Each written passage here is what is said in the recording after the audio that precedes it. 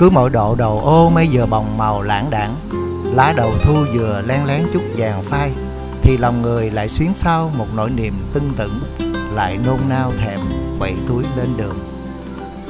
Trong một ngày thu với nắng hanh, với gió dừa và mây trắng bay ngang ngang, quốc lộ 32 sẽ ân cần đưa ta vượt vô số con dốc, vô số đỉnh mây ngàn để đến với đất trời yên bái, nơi mà lúa vàng như để dân lễ hội cho thiên đường, để ban ngất ngay cho trần thế. Hãy nghe lời thơ của nường hoàng thị hạnh. Anh hãy về nghĩa lộ với em đi suối vàng vẫn xanh, bầu trời yên bái. Khăn mặt chắc dai, đường không còn xa ngái. Như lời thơ anh êm đềm, anh có về nghĩa lộ với em không? Như từ ngàn xưa, khi theo cha về biển, ta đã mang theo. À ơi, thơm tho mùa vàng anh em. À ơi, ngọt ngào nồng nàn sữa mẹ. Từ âu cơ, từ long quân mà đồng bào trăm trứng, anh em mình xin hẹn thề từng mùa vàng, theo gió núi lại về thăm. Ôi lời thơ, cảnh sắc và con người, cứ như một sức hút mạnh liệt mà ngọt ngào. Để cho lãng khách khi về đây, thì tâm trạng cứ sẽ ngây ngất, say nghiêng trong men đời phong lãng chân quyến luyến như muốn dừng chân từng nơi thật lâu, mà bụng dạ lại cuốn cuồng nôn nao. E sẽ bỏ lỡ bao cảnh sắc đang đợi chờ trước mặt.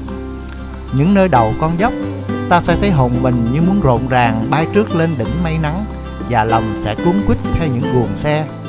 Theo quanh co đèo núi mà nôn nao bước thấp bước cao, cứ sợ mây sẽ bay mau, hương sẽ phai pha, theo heo mây đang về nhẹ nhẹ. Bắt đầu từ nghĩa lộ, ta sẽ theo quốc lộ 32 về phía bắc, qua dương quốc, gạo nếp, tú lệ, vượt đèo khao phạ. Thế rồi ta đã đến với thiên đường ruộng bậc thang của mù can chải, chế cu nha, la bán tận.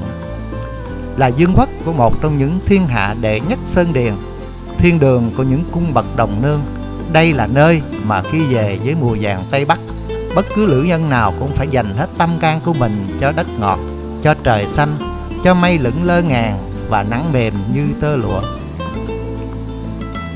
Những đồng nương ở đây nhờ bàn tay của đồng bào thái, hoa mông, tày, nùng nhờ nước của mây ngàn nắng gió, của đất hùng tráng, của trời xanh cao, mà từ ngàn đời nay, những giạt lúa vàng như không chỉ là mùa màng, là no ấm.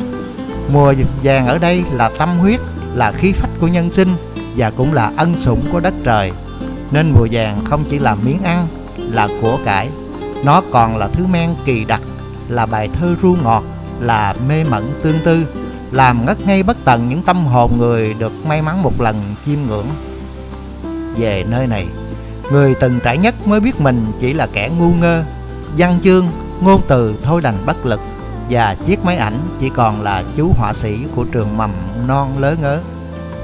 Được thẫn thơ trong hương lúa ngút ngàn, được thấm đẫm ngoài hơi sương mưa nhẹ, được ngập mắt trong trùng điệp xanh vàng là một diễm phúc mà ta phải chân thành cảm ơn trời đất và con người ở miền đất thiên đường này vậy. Ta lên non cao trồng cây lúa nương lúa ta thơm nắng trời, ta gùi về làm cơm dân mẹ. Ta xuống lũng khe trồng cây lúa nước, lúa ta ngọt ngào hương đất nhờ ta em nấu rượu thóc mầm để đôi mình say nhớ, say thương. Thôi thì xin để mùa cho mấy ngàn, gửi lòng cho bao la để mình là thơ dại. La cà xuôi ngược ngàn con dốc mơ ngang đỉnh núi mộng lưng đèo, la cà lan bạc mùa thăm thẳm, mơ mỗi phút giây mộng tháng năm.